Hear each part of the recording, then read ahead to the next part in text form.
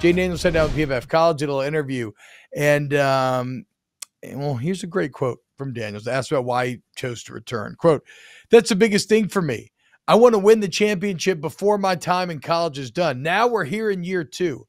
Coach Kelly gives all of the reins to me." to go out there and be a leader every day. He told me that this is my team. In order to win a national championship, it has to be player led. And I feel like we have that. And what's interesting to me, as someone who talks a lot of LSU, is that this is the first time where we've had something like that on record. Um, in terms of Daniels just talking about how much Kelly has kind of empowered him to be the unquestioned leader of the team. Mm-hmm. And when you talk about differences in Jay Daniels, Aaron, probably the single biggest difference is that last year he was a new guy, new culture, new teammates, new coaches, didn't know anybody, having to figure all it out. This year he is the guy, not the new guy. Yep. He is now the guy. And it should, I mean, as a quarterback, Aaron, how much does that help in what you're looking to accomplish?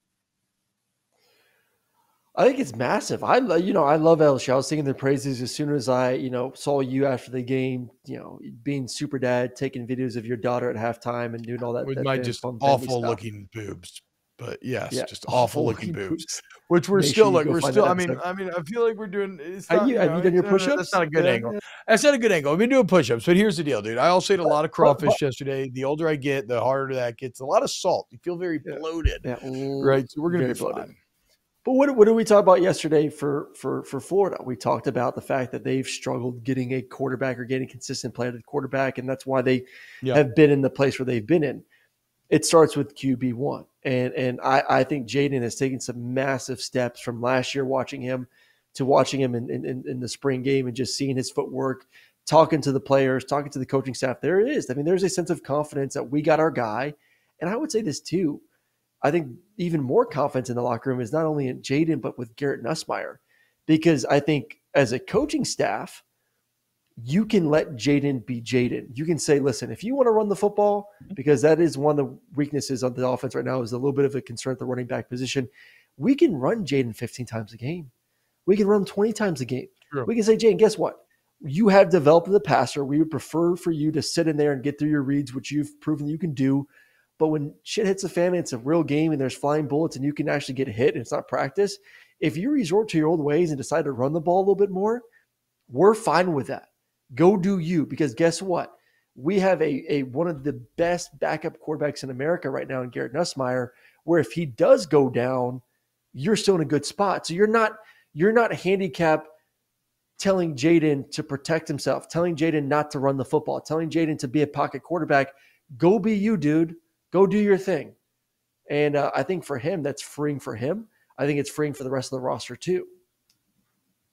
So, uh, do you think LSU is actually championship good? Because I mean, that's yes. what Jayden Daniels is talking about here. You got UGA standing in the way. You're out here saying that Florida State's going to beat LSU week one. So I don't know that you actually mm, believe they're championship so. good. Okay, well, you okay? You've been saying that though on snaps. You've been picking Florida State and then picking LSU to do good. So if you this change was, your mind, this was pre. This was pre seeing them live in the spring game. That seeing those dudes go out there and play, and seeing Jayden's progression, and seeing what you know the weapons on offense look like, the offensive line, the guys on defense. You know, some of the guys they got in the portal. I think it's going to be a great game. I don't think it's a game. Who taking head to head? Let's play a head to head game. Who are you taking? I think LSU. LSU I'll take Texas? LSU. I'll take LSU. No, no, LSU or Texas? Oh, LSU okay, or Texas. Yes. LSU. I think LSU is the top four team in the country right now. LSU or Michigan or LSU or Ohio State first. Oh damn! I'm going to make this seem like LSU is the second best team in the country. I'll take LSU. I'll take LSU over Michigan okay, too. I'll take LSU over okay. USC. Uh, LSU okay. has a chance to be the second best team in America. There you wow. go, T. There you there go. There we go. So we've now arrived at. I mean, that is the see, and that's where I, I maybe I'm just dinging myself trying to be too much of a homer. I arrive on the opposite side where I don't know if I feel good about them being ready to take down your Ohio States or UGA's or maybe even a Florida State, but we're gonna find out. We gonna. Find, I do love Jayden Daniels finally getting an opportunity to build on all that potential that he flashed freshman year and refound last year because it seems yep. like he had a lot of dysfunction to deal with over there at Arizona State. And now he's been, and we always talk nature versus nurture on the show. Now he's been put in a really good environment to find that long term success.